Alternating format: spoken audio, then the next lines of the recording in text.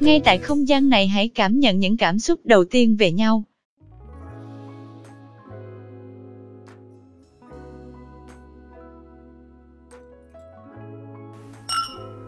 Mời em. Quê em đâu? Em quảng ngãi. Anh thì ở sài gòn. Em sinh năm đấy.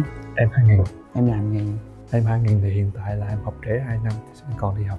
Em làm thêm thời vụ à? Làm thêm là làm b-boy. Ờ, anh thì uh, kinh doanh online với mỹ phẩm. À. ngại quá. Uống đi. Uống Ok. cho xỉn xỉn uh, anh nói chuyện với em anh không có ngại. Không Cả hai bạn di chuyển vào giữa nhà. à đây đi chỗ này hả? Ôi em cao quá vậy. Em đứng với anh coi anh em với anh cao cái đâu. Đây.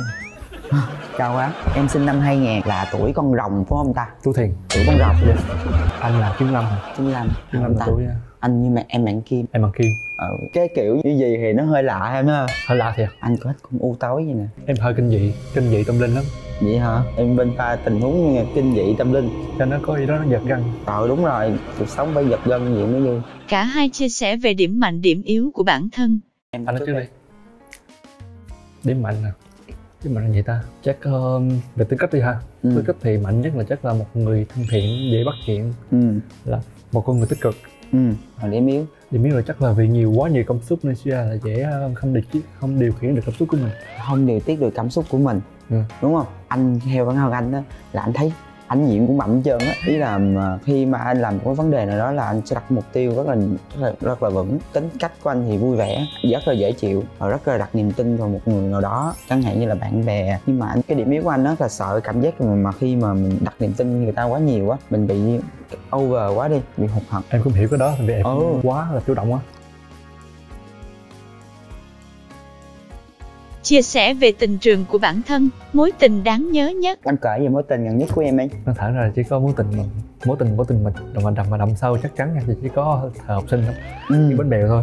Ôi hay vậy? Hay gì đó? Hay lúc vậy? đó lúc đó chưa có chưa có bd lúc đó chưa, chưa có bd Trời ơi, ừ, là em phát hiện mình là gay là lúc bao năm tuổi bao nhiêu tuổi? chắc lúc 18 tuổi á. Wow, chắc lúc đó mới ờ, những trại tâm lý mới biết mình bd ừ 18 tuổi là quen gái luôn. 18 tuổi thì chỉ có thích rồi từ từ rồi quen rồi quen Rồi rồi có- có, có, bạn gái Rồi có gái không? không cái này tới nhị không sai lúc không, vẻ. lúc ở nhỏ mà lúc Ừ. còn nhỏ thời học sinh lắm lúc Hay sáng nó chưa có làm gì luôn Trời chỉ có đúng kiểu học trò luôn chưa làm gì cả hay nha. mà tới tận 3 năm còn giờ hai đứa chỉ là bạn bè với nhau thôi Ờ, chỉ là từ đó tới giờ em chỉ quen một bé đó thôi chứ em không có quen ai nữa hả? thì lúc 18 tuổi em vào Sài Gòn này đi học đi làm á, thì họ cũng có cũng có thích như này người kia nè. Ừ, nhưng mà cũng có- cũng có tìm hiểu nhưng mà nó chưa có được đến được có đi đâu á. Ừ. Còn anh, cái tuổi của anh chắc uh, quen thì chắc cũng ờ, ba bốn mối tình.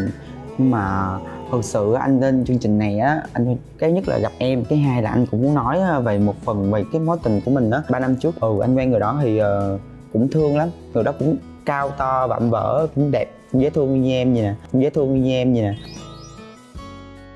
Nhưng mà thật sự là trong cái cái cái, cái trong cái khoảnh khắc hai người quen anh với anh với bạn đó quen á thì không có hợp nhau và ừ cái tánh tình của anh á ừ cũng vui vẻ này nọ nhưng mà anh có hơi nóng tính một xíu. Ừ anh có làm bạn nó buộc nhân chương trình anh cũng nói rồi giờ gặp bạn đó anh cũng xin lỗi bạn đó luôn và anh muốn ừ, gặp một mối quan hệ mới sửa được cái tính đó. Mẫu người yêu lý tưởng của cả hai.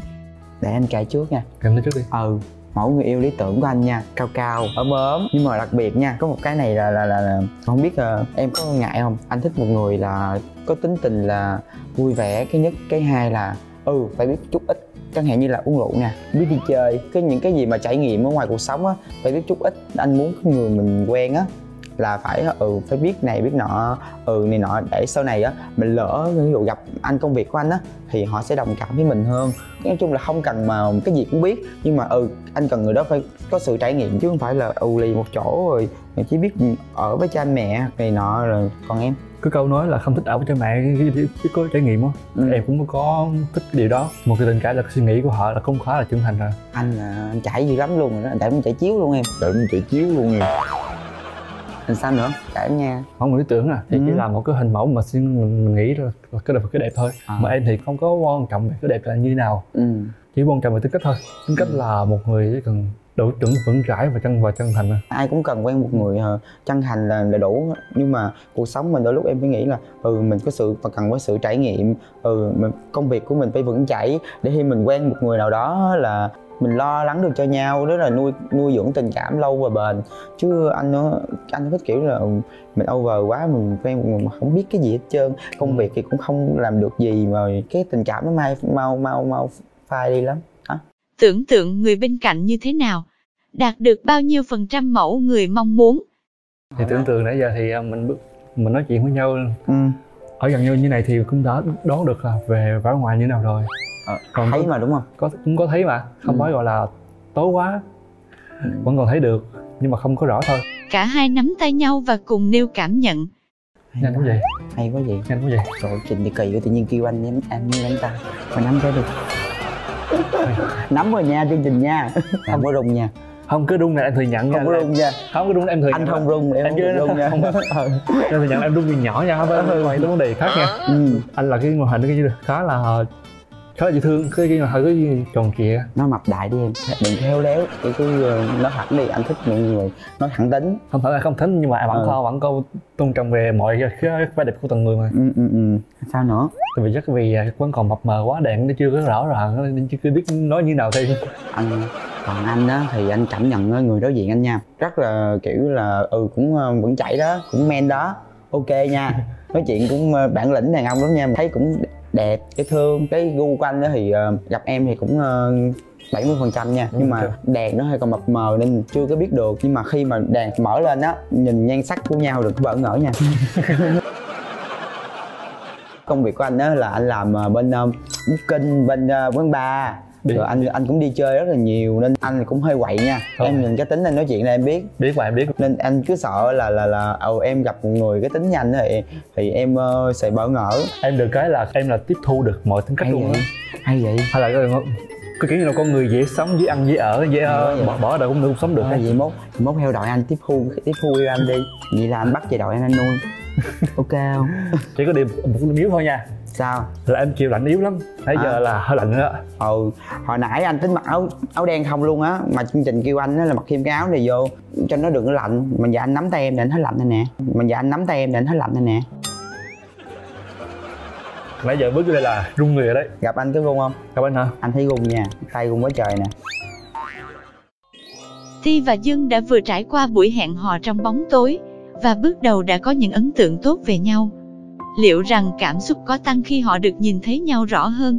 Chúng ta hãy cùng đến vòng 2 ở mức độ ánh sáng, sáng hơn nhé.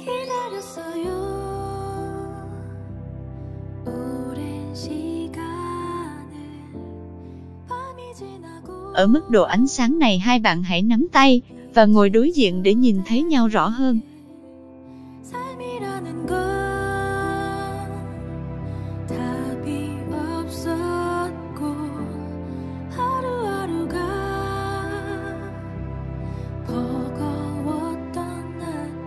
Cái cổ bi gì mà dán là vậy? Tại vừa rồi mới đi làm bị uh, vô, vô trong kho. Thiệt không?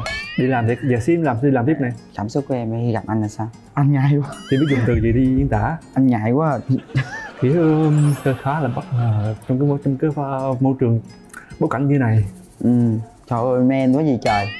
Sao quá thế ơi trả lời tiếp đi bé. Mình chưa biết dùng từ diễn tả như nào á nó hơi khá là từ không dạ bây giờ anh gợi ý cho em nha. Ừ. em nhìn thấy anh như thế nào? Như thương. Có bị over quá không có nhìn cái cái điểm gì mà em không thích không? Không Over. em cứ nói thật lòng. Over hả? over thì em nói với em được không? Ừ có điểm gì em không thích không? Không thích ừ. Em chưa bao em giờ cứ nói thẳng. Thẳng em nha là em chưa bao giờ không, thích một điểm nào của người hay quá vậy là em thích anh đúng không? Hay quá vậy là em thích anh đúng không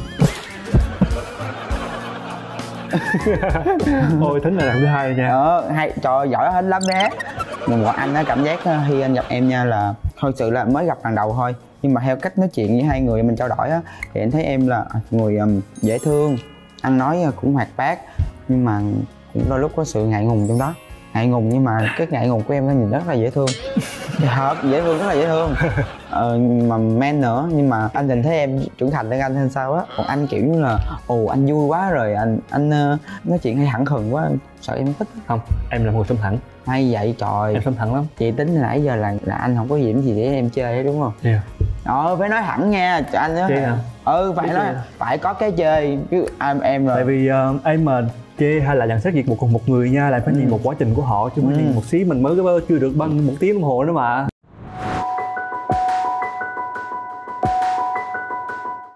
Tiến đến bục phía trước để lấy những vật được chuẩn bị ở trên bàn. là rượu hay là nước rượu tiện lên nói chuyện mặt ngô với anh cái nào thiệt nha em uống cái nữa là em ngủ luôn á ngủ anh đỡ ok Trả lời các câu hỏi, hoặc thực hiện những thử thách được đưa ra nếu không làm thì sẽ bị phạt uống. à không là không phạt mà uống. Không ý là mình phải trả lời những câu hỏi của chương trình. Nếu lời mình không trả lời uống. được hoặc là ừ mình không làm được á thì mình phải uống. Ok. Rồi. À, ok. Cùng ăn hết dây kẹo mà không dùng tay. là có cần bóc lên không hay là dùng tay bóc luôn? Không dùng tay á là cầm miệng á để em bưng lên cho em. Đúng rồi giỏi giỏi giỏi. Cầm ở đây ngước lên ngước lên. Ngước lên cao lên. Ờ đúng rồi đúng rồi.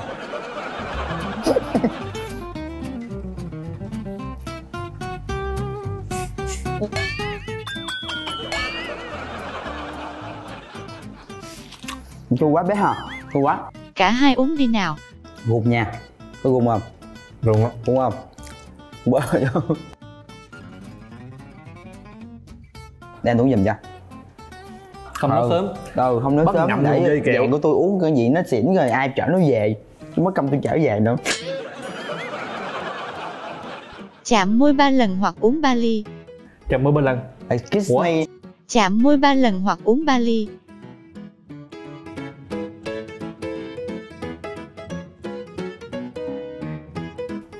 một lần này hai ba Hành động khiến con tim bạn tan chảy là gì? Hành động khiến con tim em tan chảy là gì? Anh nói trước đi. Nói trước hả? Khiến ờ, con tim anh tan chảy là lúc chậm môi em ba lần. Em? Ủa là mình nói những hành động hiện tại bây giờ yes em em có thể trả lời ờ nhờ- ờ, những cái hành động mà nãy giờ mà lúc từ đầu cuối mà hai mình gặp nhau á. Cứ hoài sao hết trời? Không chưa chưa Ủa, chưa rồi, rồi, rồi, rồi. sao? Để nói chủ động đi. Tức là cái chủ động bằng nắm tay. Nhắm à không nữa Kể ba điểm nhạy cảm trên cơ thể bạn hoặc uống một ly. nhạy cảm mà ba điểm nhạy cảm à? Chắc là phần à, hông. Là đây là là hơi mặt này. đây. Hơi nghèo còn điểm, hai điểm nữa. Tai tay này hai tay này. Oh. à, tôi hiểu nha. Tôi hiểu lúc này nha. Rồi sao nữa? Hay bị nhạy cảm nếu như ai mà tới thu thủy nhưng hơi nói cứ nói hở hở đúng không? Hơi Hở hơi hở nồng ấm rồi đúng không hay là chế đôi tay cũng rất là nhạy cảm nha. Đó tôi hiểu rồi đấy nha. Rồi cái cái cái à, đuôi à chỗ này à chỗ này. Ừ. Đuôi ừ. Anh chưa nói anh hả? Cái điểm nhạy cảm của anh cái cổ hai là cái tai? Ba là cái à, cái cái Kể ba từ miêu tả lần đầu làm chuyện ấy. ba tự nghĩ là sao ta là anh miêu tả cái lần đầu của anh. sung sướng vui vẻ thoải mái. Còn em? Một từ lần đầu à lần đầu à? Đầu. Đầu còn gì nữa đâu mà khóc vơi đau đớn. Một đau đau nha. Đau đớn mệt mỏi. Chịu nha. Nghĩ ta từ như là ờ, sung sướng. À, ba từ ơ hay đó hay đó cũng có sung sướng. Nhìn vào mắt đối phương và làm một hành động lãng mạn. thì nhìn vào mắt đối phương là cái hai cùng nhìn nhau mà. Nắm tay cho hoa hậu. Em nhìn anh anh nhìn em. Cái hai cùng nhìn chứ. Cho hai mình nhìn nhau. Bớt gung không gung. Em là anh ngại đó nha. Sao? Thì nhìn thôi chứ cứ làm nhìn thôi đi. chứ cứ làm. Làm đi làm đi. Từ từ em làm. Để nhìn ra làm sao? Ủa giờ nhìn, nhìn nhau mà anh không nhìn vậy? Anh ngại nhìn nhau rồi. Bỏ kính xuống làm thấy gì rồi? Cái kính nó có lỗ nè có thấy gì đâu. À, à, thôi đấy là- thôi rồi làm lẹ đi trời. Thì anh làm trước đi em muốn chưa anh muốn chưa làm. Anh làm cái không bỡ ngỡ nha. Không ngại nha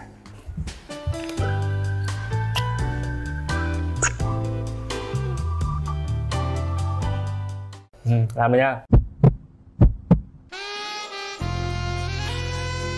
Trời chết rồi. Cảm xúc hiện tại của hai bạn như thế nào? dễ không? Khá là bất ngờ lần đầu được trải nghiệm một cảm xúc như này á. Còn anh cái cảm xúc á là anh thấy um, em kiểu là ừ càng ngày càng dễ thương. Anh à, anh thích cái kiểu của em á. Ừ, kiểu thấy nó thật đúng không?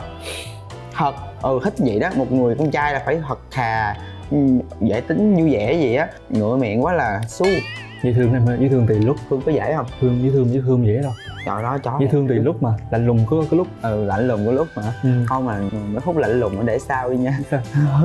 Đôi khi hướng lên bạo lực trời, trời, anh thích bạo lực nha. Anh thích bạo lực dữ lắm càng bạo lực anh càng thích. Em vậy đó. Hành hạ anh đi em. Lực hơi giận á. Quá trình tìm hiểu tương tác trong vòng 2 đã giúp cả hai có cảm xúc về nhau hơn và cũng đã có cảm tình với nhau hơn. Vậy quyết định họ đưa ra sẽ là gì? Họ có đồng ý hẹn hò với nhau hay không? Chúng ta hãy cùng theo dõi họ ở cấp độ ánh sáng cuối cùng của vòng 3. Các bạn đang đi tới vòng cuối của buổi hẹn hò ngày hôm nay với mức độ ánh sáng rực rỡ.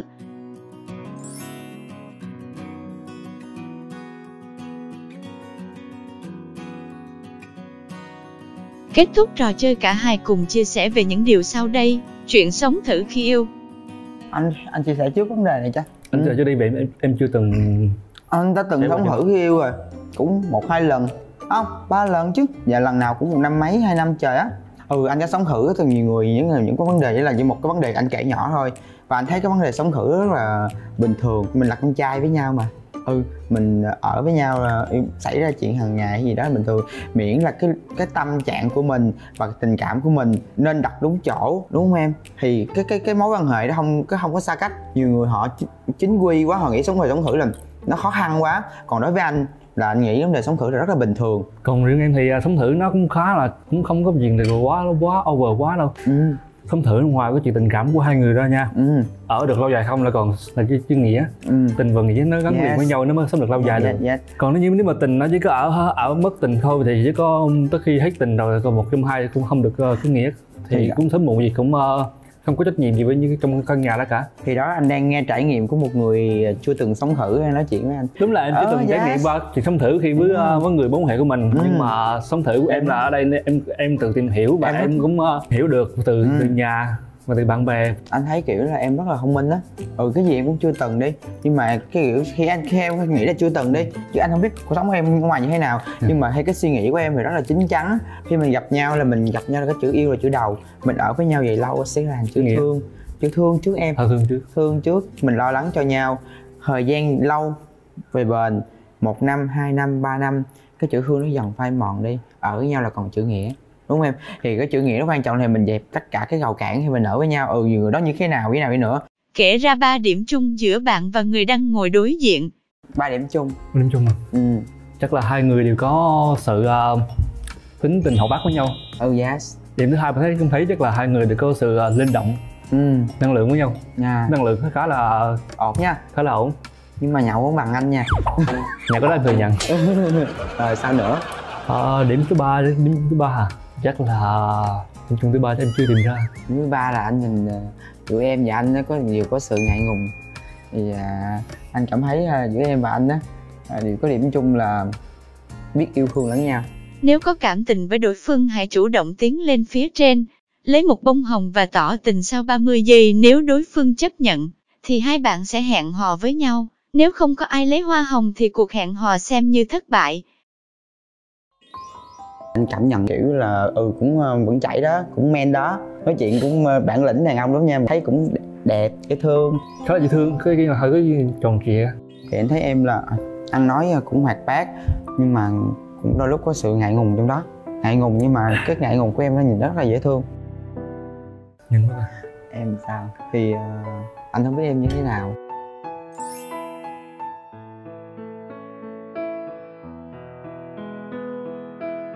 trời ơi thích thì nhích em nhích đâu em nhích tới khoảng một- hai bước á. Anh nhích ba bước.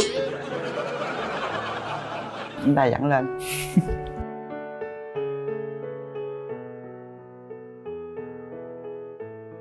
Thì sau chương trình này á thì anh thấy giữa anh và em á thì cũng có nhiều mối quan- tương đồng với nhau. Thì um, anh nói um, thì nói thật lòng là anh chương trình này thì um,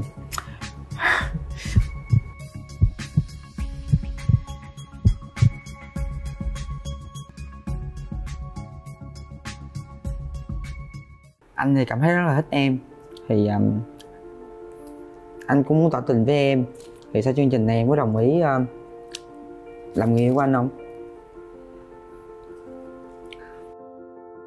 Ừ, em thì giờ cũng khá lần đầu trải nghiệm cái một cái kiểu như này.